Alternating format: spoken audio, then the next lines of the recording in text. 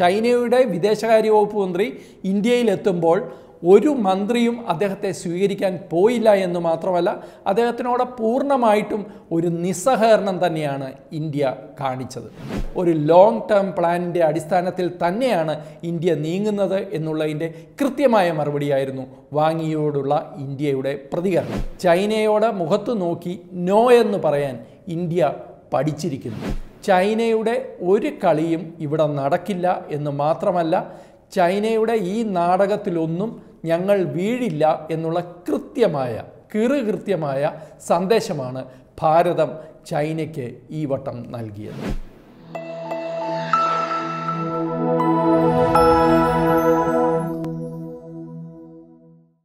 നമസ്കാരം.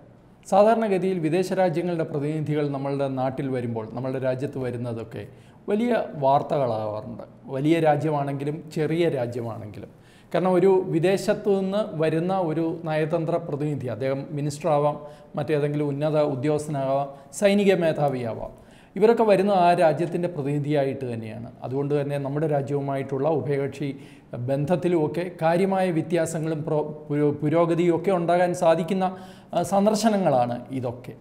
പക്ഷേ ഇങ്ങനെയൊക്കെ ആണെങ്കിലും കഴിഞ്ഞ ആഴ്ച ഒരു ലോകത്തിലെ ഏറ്റവും വലിയ വൻ ശക്തികൾ ഒന്നായ ഒരു രാജ്യത്തിന്റെ വിദേശകാര്യ വകുപ്പ് മന്ത്രി ഇന്ത്യയിൽ വന്ന് ഇരുപത്തിനാല് മണിക്കൂർ ഇവിടെ ചിലവഴിച്ച ശേഷം പോയി.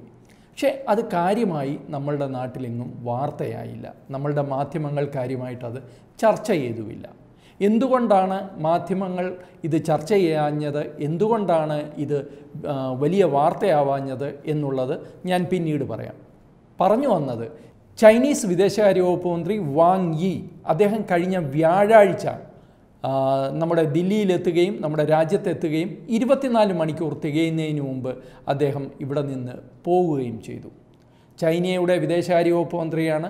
ചൈന ലോകത്തിലെ ഏറ്റവും വലിയ വൻ ശക്തികളിൽ ഒന്നാണ് ആണവശക്തിയാണ് മാത്രവുമല്ല ഭാരതത്തെ സംബന്ധിച്ചിടത്തോളം പാകിസ്ഥാനല്ല ചൈനയാണ് നമ്മളുടെ ഏറ്റവും വലിയ ഭീഷണി എന്നുള്ളത് നമ്മൾ ഈ പരിപാടിയിൽ പല പ്രാവശ്യം പറഞ്ഞിട്ടുമുണ്ട്. അപ്പോൾ അങ്ങനെ ഒരു വലിയ പ്രാധാന്യമുള്ള ഒരു വിദേശ സന്ദർശനമാണ് ഒരു നയതന്ത്ര ബന്ധമാണ് വലിയ ചർച്ചയാവാതെ പോയത്. എന്തിനാണ് ചൈനീസ് വിദേശകാര്യ വകുപ്പ് മന്ത്രി പ്രത്യേകിച്ച് വലിയ അനൗൺസ്മെന്റോ ഇൻവിറ്റേഷനോ ഇല്ലാതെ ചൈനയുടെ സ്വന്തം താല്പര്യപ്രകാരം ഇന്ത്യയിൽ വന്നത്? എന്തുകൊണ്ടാണ് അദ്ദേഹം ഉദ്ദേശിച്ച കാര്യങ്ങൾ ഇവിടെ നടക്കാതെ പോയത്? എന്തുകൊണ്ടാണ് അദ്ദേഹത്തിന് നിരാശനായി മടങ്ങേണ്ടി വന്നത്? ഈ കാര്യങ്ങൾ നമുക്കൊന്ന് നോക്കാം. ആദ്യം തന്നെ പറയട്ടെ ചൈനീസ് വിദേശകാര്യ വകുപ്പ് മന്ത്രിയുടെ ഇന്ത്യയിലേക്കുള്ള സന്ദർശനം ഇന്ത്യ ആവശ്യപ്പെട്ടിട്ടല്ല. അത് ചൈന തന്നെ ഇന്ത്യയിൽ സമ്മർദ്ദം ചെലുത്തി നേടിയെടുത്ത ഒരു സന്ദർശനമാണ്. ഇന്ത്യയിലെത്തുന്നതിന് മുമ്പ് അദ്ദേഹം രണ്ട് കാര്യങ്ങൾ ചെയ്തിരുന്നു. ഒന്ന് അദ്ദേഹം ഒ ഐ സിയുടെ സമ്മേളനത്തിൽ പങ്കെടുത്ത് പാകിസ്ഥാന്റെ കാശ്മീർ അനുകൂല നിലപാടിന് പൂർണ പിന്തുണ കൊടുത്തു. എന്ന് മാത്രമല്ല അദ്ദേഹം അഫ്ഗാനിസ്ഥാനിലെ താലിബാൻ നേതാക്കന്മാരുമായിട്ടും ചർച്ച നടത്തി. ഈ രണ്ട് കാര്യങ്ങൾ ചെയ്ത ശേഷമാണ് അദ്ദേഹം ഇന്ത്യയിലെത്തിയത്. ഇന്ത്യയെ പ്രകോപിപ്പിക്കാനാണോ എന്ന് ചോദിച്ചാൽ ഒരുപക്ഷെ ആയിരിക്കാം. കാരണം ഈ നയതന്ത്രം എന്ന് പറയുന്നത് ഒരു മൈൻഡ് ഗെയിമാണ് നമുക്കെല്ലാവർക്കും അറിയാം ഒരു മനസ്സിന്റെ കളിയാണ്. ശത്രുവിൽ ഭയവും അതേപോലെ ആശങ്കയും സംശയവും ഒക്കെ ഉണ്ടാക്കിയെടുത്ത് ശത്രുവിന്റെ മേൽ അധീശത്വം സ്ഥാപിക്കുന്ന യുദ്ധമല്ലാത്ത ഒരു യുദ്ധമാണ് നയതന്ത്രം എന്നുള്ളത് നമുക്കെല്ലാവർക്കും അറിയാം. ഇത് ചൈന വളരെ ഭംഗിയായി ചെയ്യുന്ന ഒരു കാര്യമാണ്. ചൈനയുടെ നയതന്ത്രം എന്ന് പറയുന്നത് ചൈനയ്ക്ക് ചുറ്റും ചൈനയുടെ ശത്രുക്കളാണ്. അല്ലെങ്കിൽ ചൈനയ്ക്ക് നല്ല ബന്ധമില്ലാത്ത രാജ്യങ്ങളാണ്. ഈ രാജ്യങ്ങളെയൊക്കെ ചൈന ഡീൽ ചെയ്യുന്നത് ഇത്തരം ചില ഗിമ്മിക്സിലൂടെയാണ്. എന്ന് മാത്രമല്ല ഇതോടൊപ്പം ചൈനയുടെ ഒരു വലിയ സോഷ്യൽ മീഡിയ ഫോഴ്സ് ഉണ്ട് ചൈനയ്ക്കുള്ളിൽ സോഷ്യൽ മീഡിയയ്ക്ക് വലിയ തോതിൽ നിയന്ത്രണങ്ങളും നിരീക്ഷണങ്ങളും ഒക്കെ ഉണ്ടെങ്കിലും ഇതേ സോഷ്യൽ മീഡിയയെ ഉപയോഗിച്ചാണ് ചൈന അമേരിക്കയിൽ പോലും വലിയ തരത്തിലുള്ള ഡിഫറൻസസ് അവിടുത്തെ സമൂഹത്തിൽ വലിയ ആഘാതങ്ങൾ ഉണ്ടാക്കുന്നത് വലിയ ഡിവിഷൻസ് ഉണ്ടാക്കുന്നത് സമൂഹത്തിൽ ഭിന്നതയാണ് ചൈന എല്ലായിടത്തും ഉണ്ടാക്കുന്നത്. ഇന്ത്യയിലും ചെയ്യുന്ന അത് തന്നെയാണ്. ഇന്ത്യയിലെ ടിക്ടോക്കിനെയൊക്കെ സംബന്ധിച്ച് നമുക്ക് ഗൂഗിളിൽ തന്നെ സെർച്ച് ചെയ്താൽ അറിയാം. WeChat TikTok. ഇതിലൂടെയൊക്കെ ചൈന നമ്മളുടെ ചില ആൾക്കാരുടെയെങ്കിലും പ്രൊഫൈലുകൾ സൃഷ്ടിച്ചെടുക്കുകയും ഈ അവരെ സംബന്ധിച്ചിടത്തോളം അവരെടുക്കുന്ന നിലപാട് കുറേ കൂടി കർക്കശമാക്കിക്കൊണ്ട് സമൂഹത്തിൽ ഈ രണ്ട് കൂട്ടരെയും തമ്മിലടിപ്പിക്കുകയും ചെയ്യുന്ന സമൂഹത്തിനുള്ളിൽ അരാജകത്വവും ഭിന്നതയും ഉണ്ടാക്കുന്ന ഒരു സമീപനമാണ് ചൈന എടുക്കുന്നത്. അതുകൊണ്ട് ചൈന സോഷ്യൽ മീഡിയ വളരെ നന്നായി നയതന്ത്രത്തിൽ ഉപയോഗിക്കുന്ന ഒരു രാജ്യമാണ് എന്നുകൂടി ഈ അവസരത്തിൽ പറയണം. അപ്പോൾ ഇങ്ങനെയുള്ള ഒരു ചൈന ഇന്ത്യയിൽ പെട്ടെന്ന് ചൈനയുടെ വിദേശകാര്യ വകുപ്പ് മന്ത്രിയെ പറഞ്ഞു വിടുക അദ്ദേഹത്തെ ഇങ്ങോട്ട് ആവശ്യപ്പെട്ട് അദ്ദേഹത്തിന് പ്രധാനമന്ത്രി നരേന്ദ്രമോദിയെ കാണണം അദ്ദേഹത്തെ ചൈനയിലേക്ക് ബ്രിക്സ് സമ്മിറ്റിന് വിളിക്കണം. പ്രധാനമന്ത്രിയോടൊപ്പം അറ്റ്ലീസ്റ്റ് ചർച്ചകളൊന്നും നടന്നില്ലെങ്കിൽ അറ്റ്ലീസ്റ്റ് പ്രധാനമന്ത്രിയോടൊപ്പം ഒരു ഫോട്ടോ എടുക്കാനുള്ള അവസരം അദ്ദേഹത്തിന് ലഭിക്കണം. ഇതൊക്കെ ചൈനയുടെ ആവശ്യമായിരുന്നു. അപ്പോൾ ഈ ആവശ്യങ്ങളൊക്കെ ചൈന ചെയ്യുന്നത് വെറുതെയല്ല. കാരണം രണ്ട് ദിവസം മുമ്പ് ഇന്ത്യയുടെ കൃത്യമായ നിലപാടുകൾക്ക് ഘടകവിരുദ്ധമായി സംസാരിച്ച അതേ വ്യക്തിയാണ് ഇന്ത്യയിൽ എത്തിയിട്ട് പ്രധാനമന്ത്രിയെ കാണണമെന്ന് പറയുന്നത്. ഇത് എന്തുകൊണ്ടാണ് ചൈന ചെയ്തത് എന്നുള്ളത് ആദ്യം ഒന്ന് പരിശോധിച്ച ശേഷം ഇന്ത്യയുടെ ഇക്കാര്യത്തിലുള്ള നിലപാടിലേക്ക് വരാം. ഇതാദ്യം തന്നെ പറയാം ഇപ്പോൾ ഈ ഉക്രൈൻ ആക്രമണത്തിന് ശേഷം ഉരുത്തിരിഞ്ഞു വരുന്ന ലോകക്രമത്തിന് ഒരു വലിയ വ്യത്യാസമുണ്ട്. ഈ ലോകക്രമത്തിൽ ഇന്ത്യയെ കൂടെ നിർത്തിക്കൊണ്ട് ഒരു റഷ്യൻ ചൈനീസ് അച്ചുതണ്ടിനാണ് ഒരു പക്ഷേ ചൈന ശ്രമിക്കുന്നത്. ചൈനയ്ക്ക് വളരെ കൃത്യമായിട്ടറിയാം ആ ഒരു അച്ചുതണ്ട് ഉണ്ടായാൽ അല്ലെങ്കിൽ അങ്ങനെ ഒരു ബ്ലോക്ക് ഉണ്ടായാൽ അതിന്റെ ഒരു പരിധി വരെ അതിന്റെ നേതൃത്വം ചൈനയ്ക്ക് തന്നെ ആയിരിക്കുമെന്ന്. പക്ഷേ ചൈനയ്ക്കറിയാം അത് ഇന്ത്യ ഇല്ലാതെ അത് ചെയ്യാൻ പറ്റത്തുമില്ല എന്ന്. അപ്പോൾ വളരെ കൃത്യമായി ഇന്ത്യയെ ചൈനയ്ക്ക് കൂടെ നിർത്തണം എന്നുണ്ട്. പക്ഷേ കൂടെ നിർത്തണം എന്നുള്ളപ്പോൾ തന്നെ നിരവധി അതിന് കടമ്പകൾ കടക്കേണ്ടതുണ്ടെന്ന് ചൈനയ്ക്ക് കൃത്യമായിട്ടറിയാം. ആ കടമ്പകൾ കടക്കാനുള്ള ഒരു ചെറിയ ശ്രമമാണ് ഒരു പക്ഷേ വാങ്ങിയുടെ ഈ സന്ദർശനത്തിലൂടെ ചൈന തുടങ്ങി വെച്ചത് എന്ന് വേണമെങ്കിൽ നമ്മൾക്ക് കരുതാം. ഇനി ഇന്ത്യയുടെ റെസ്പോൺസ് ഇക്കാര്യത്തിൽ എന്തായിരുന്നു എന്ന് നോക്കുക. ചൈനയുടെ ഒരു കളിയും ഇവിടെ നടക്കില്ല എന്ന് മാത്രമല്ല ചൈനയുടെ ഈ നാടകത്തിലൊന്നും ഞങ്ങൾ വീഴില്ല എന്നുള്ള കൃത്യമായ കിറുകൃത്യമായ സന്ദേശമാണ് ഭാരതം ചൈനയ്ക്ക് ഈ വട്ടം നൽകിയത്. ഒരു പക്ഷേ രണ്ടായിരത്തി പതിനാലിന് മുമ്പ് ഞാൻ പലപ്പോഴും എടുത്തു പറയുന്ന ഒരു കാര്യം നയതന്ത്ര രംഗത്ത് കാതലായ മാറ്റം ഉണ്ടായത് രണ്ടായിരത്തി പതിനാലിന് ശേഷം ശ്രീ നരേന്ദ്രമോദി അധികാരത്തിൽ വന്ന ശേഷമാണ്. അതിൽ രാഷ്ട്രീയമല്ല പറയുന്നത്. കാരണം ഇതിനു മുമ്പും ബി ജെ പി സർക്കാർ ഇവിടെ ഉണ്ടായിട്ടുണ്ട്. അവർ പല മാറ്റങ്ങളും കൊണ്ടുവന്നിട്ടുണ്ട്.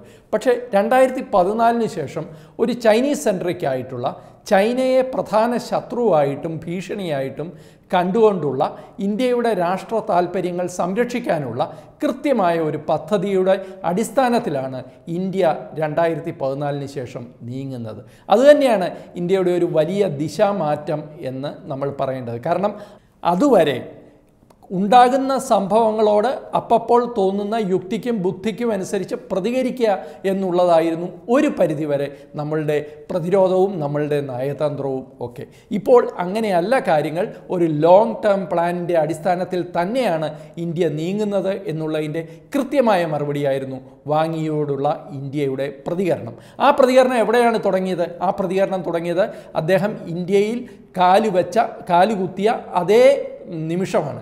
കാരണം അദ്ദേഹത്തിന്റെ ഫ്ലൈറ്റിന് ഇവിടെ ഇറങ്ങാനുള്ള അനുമതി കൊടുത്തത് കൊമേഴ്ഷ്യൽ എയർപോർട്ടിലാണ്. കൊമേഴ്ഷ്യൽ എയർപോർട്ടിലാണ് അദ്ദേഹം വിമാനം ഇറങ്ങിയത്. ആ വിമാനം ഇറങ്ങിയപ്പോൾ അദ്ദേഹത്തെ സ്വീകരിക്കാൻ ഉന്നത ഉദ്യോഗസ്ഥന്മാരോ കേന്ദ്രമന്ത്രിമാരോ ഉണ്ടാകാൻ പാടില്ല എന്ന് കൃത്യമായി ഇന്ത്യ നിശ്ചയിച്ചിരുന്നു. അദ്ദേഹം യഥാർത്ഥത്തിൽ ഇന്ത്യൻ വിദേശകാര്യ വകുപ്പ് മന്ത്രി ജയശങ്കറിനെ കാണുന്നത് പോലും പിറ്റേന്ന് ഹൈദരാബാദ് ഹൗസിലാണ്. ഒരാളും അദ്ദേഹത്തെ സ്വീകരിക്കാൻ പോയില്ല. ഓർക്കണം ഇത് ഒരു പക്ഷേ ഏതാനും വർഷങ്ങൾക്ക് മുമ്പ് അചിന്ത്യമായ കാര്യമാണ്. ചൈനയുടെ വിദേശകാര്യ വകുപ്പ് മന്ത്രി ഇന്ത്യയിലെത്തുമ്പോൾ ഒരു മന്ത്രിയും അദ്ദേഹത്തെ സ്വീകരിക്കാൻ പോയില്ല എന്ന് മാത്രമല്ല അദ്ദേഹത്തിനോട് പൂർണമായിട്ടും ഒരു നിസ്സഹകരണം തന്നെയാണ് ഇന്ത്യ കാണിച്ചത്. അദ്ദേഹം ഇന്ത്യയിലെത്തിയ ശേഷം അദ്ദേഹം നമ്മൾ മനസ്സിലാക്കുന്നത് ചൈനയിൽ നിന്ന് പോലും ഇന്ത്യയിലെ ഉദ്യോഗസ്ഥന്മാർക്കും ഇന്ത്യൻ വിദേശകാര്യ വകുപ്പ് മന്ത്രിയുടെയും മേൽ ചില സമ്മർദ്ദങ്ങൾ ഉണ്ടായിരുന്നു. അദ്ദേഹത്തിന് പ്രധാനമന്ത്രി നരേന്ദ്രമോദിയുമായിട്ട് കൂടിക്കാഴ്ചയ്ക്ക് അവസരം കൊടുക്കണമെന്ന്. ആ കൂടിക്കാഴ്ചയ്ക്കുള്ള അഭ്യർത്ഥന പാടെ നിരാകരിച്ചുകൊണ്ടാണ് ഇന്ത്യ പ്രതികരിച്ചത്. എന്ന് മാത്രമല്ല അതിന് മറുപടി കൊടുത്തത് പ്രധാനമന്ത്രി നരേന്ദ്രമോദിക്ക് അന്ന് യോഗി ആദിത്യനാഥിന്റെ സത്യപ്രതിജ്ഞാ ചടങ്ങിനായി ലക്നോയിൽ പോകണം. അതുകൊണ്ട് ചൈനീസ് വിദേശകാര്യ വകുപ്പ് മന്ത്രിയെ കാണാൻ പറ്റില്ല എന്നാണ്. അപ്പോൾ കാണാൻ ആഗ്രഹമില്ല എന്നുള്ളതിന്റെ കൃത്യമായ സന്ദേശം ആ മറുപടിയിൽ വളരെ വ്യക്തമായിട്ടുണ്ട്. പിന്നെ അദ്ദേഹത്തെ കണ്ടത് ആരൊക്കെയാണ്? രണ്ടേ രണ്ട് ഉന്നത വ്യക്തികൾ മാത്രമാണ് ഇന്ത്യയുടെ ഭരണകൂടത്തിൽ നിന്ന് ചൈനീസ് വിദേശകാര്യ വകുപ്പ് മന്ത്രിയെ കണ്ടത്. ഒന്ന് വിദേശകാര്യ വകുപ്പ് മന്ത്രി എസ് ജയശങ്കർ രണ്ടാമത്തെ ആൾ നാഷണൽ സെക്യൂരിറ്റി അഡ്വൈസറായ അജിത് ദോവൽ. ഇവർ രണ്ടുപേരും ചൈനീസ് വിഷയങ്ങളിലെ എക്സ്പേർട്സ് ആണ് താനും. ഈ രണ്ടുപേരും ഒട്ടും വാക്കുകൾ മായം കലർത്താതെ വളരെ കൃത്യമായി ചൈനീസ് വിദേശകാര്യ വകുപ്പ് മന്ത്രിയോട് പറഞ്ഞു നമ്മളുടെ ബന്ധം ഇപ്പോൾ ഒട്ടും സുഖകരമായ അവസ്ഥയിലല്ല. നിങ്ങൾ ഏപ്രിൽ രണ്ടായിരത്തി ഇരുപതിൽ തുടങ്ങിയ അതിർത്തിയിലെ സംഘർഷം എന്നവസാനിപ്പിക്കുന്നു അതിനു മുമ്പുള്ള സ്ഥിതിയിലേക്ക് അവിടുത്തെ ചൈനീസ് പട്ടാളം എന്ന് പിന്മാറുന്നു. അന്ന് മാത്രമേ ഇന്ത്യയും ചൈനയും തമ്മിലുള്ള ബന്ധങ്ങളിൽ ഒരു പുതിയ തുടക്കം സാധ്യമാകൂ. ഇതാണ് കൃത്യമായ സന്ദേശം ഇന്ത്യൻ സർക്കാർ ഭാരത സർക്കാർ ചൈനയ്ക്ക് കൊടുത്തത്. ഈ രണ്ട് വ്യക്തികളും എടുത്തു പറഞ്ഞതും അതാണ്. നമുക്കെല്ലാവർക്കും അറിയാം ഏപ്രിൽ രണ്ടായിരത്തി ഇരുപതിൽ ഇൻഡോ ചൈന ബോർഡറിൽ ഉണ്ടായത് എന്താണെന്ന്. അതിനുശേഷം ഈ രണ്ട് വർഷങ്ങൾക്കിടയിൽ പതിനഞ്ചോളം പ്രാവശ്യം ഇന്ത്യയുടെയും ചൈനയുടെയും പട്ടാള നേതൃത്വം മീറ്റിങ്ങുകൾ നടത്തിയിരുന്നു ഉഭയകക്ഷി ചർച്ചകൾ നടത്തിയിരുന്നു. പക്ഷേ ചൈനീസ് പട്ടാളം പിന്നോട്ട് പോകാനോ അവരുടെ തൽസ്ഥിതിയിൽ നിന്ന് മാറാനോ ഇതുവരെ സമ്മതിച്ചിട്ടില്ല എന്നുള്ളതാണ് നമ്മൾ മനസ്സിലാക്കുന്നത്. അതുകൊണ്ട് തന്നെ ഇക്കാര്യത്തിൽ ഒരു തീരുമാനമുണ്ടാകാതെ ഇന്ത്യയുടെ ഭാഗത്തു നിന്ന് യാതൊരു തരത്തിലുള്ള ഒരു അയഞ്ഞ സമീപനമോ സൗഹൃദപരമായ സമീപനമോ ഉണ്ടാകില്ല എന്ന് വളരെ കൃത്യമായിട്ടാണ് ചൈനയോട് ഇന്ത്യ പറഞ്ഞിരിക്കുന്നത്. ഇതാണ് നേരത്തെ പറഞ്ഞത് ആ നയതന്ത്രത്തിന്റെ ഒരു വ്യത്യാസമാണ്. ശക്തമായി പറയേണ്ടത് ശക്തമായി പറഞ്ഞു സൗഹൃദം പങ്കിടേണ്ടിടത്ത് സൗഹൃദം പങ്കിട്ടും. അതേപോലെ മറ്റു തരത്തിലുള്ള സൂചനകൾ നൽകേണ്ടിടത്ത് ആ സൂചനകൾ നൽകിയും ഒക്കെ തന്നെയാണ് നയതന്ത്രം മുന്നോട്ട് പോകേണ്ടത്. ഇന്ത്യ ഒരു പക്ഷേ ഈ രണ്ടായിരത്തി പതിനാല് വരെ ചെയ്യാത്ത ഒരു കാര്യം അതുതന്നെയായിരുന്നു മറ്റുള്ളവരെ പ്രീണിപ്പിക്കുന്നതിൽ നമ്മൾ കൂടുതൽ ശ്രദ്ധ കൊടുത്തിട്ടുണ്ടോ എന്നുള്ളത് അല്ലെങ്കിൽ മറ്റുള്ളവരെ പ്രകോപിപ്പിക്കാതിരിക്കാൻ നമ്മൾ ആവശ്യത്തിലധികം താണു കൊടുത്തിട്ടുണ്ടോ എന്നുള്ളത് ഒരു സംശയമായി പലരും പ്രകടിപ്പിച്ചിട്ടുണ്ട്. എന്തായാലും അതിനൊരു വലിയ മാറ്റമാണ് ഇപ്പോൾ ഉണ്ടായിരിക്കുന്നത്. ചൈനയോട് മുഖത്ത് നോക്കി നോ എന്ന് പറയാൻ ഇന്ത്യ പഠിച്ചിരിക്കുന്നു.